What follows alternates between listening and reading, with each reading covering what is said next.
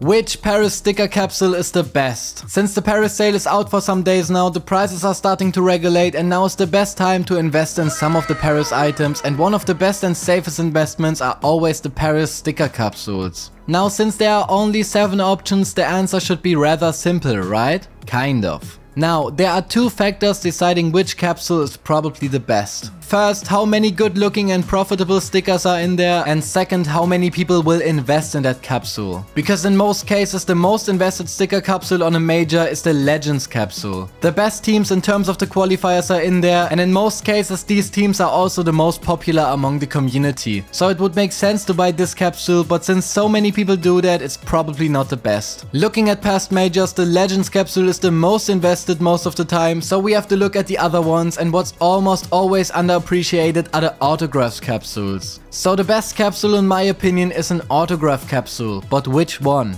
For this I'll use simple math because looking at CSGO we can clearly see that by far the best return on investment capsule is the Contenders Autographs capsule. And that's the best Paris sticker capsule in my opinion. Now if you don't trust the autographs I don't think that there's too much of a difference between Contenders and Challengers. The Challengers capsule is probably the most underrated but I would recommend you buying the one you like more if you rather want to go with team stickers. In the end it's totally on you and you should always buy at least a small portion of of the other ones and not go all in at one because this raises your risk. Did this video help you out? Tell me in the comments and if you enjoyed watching, subscribe and like for more news and interesting stuff about Counter-Strike. See ya!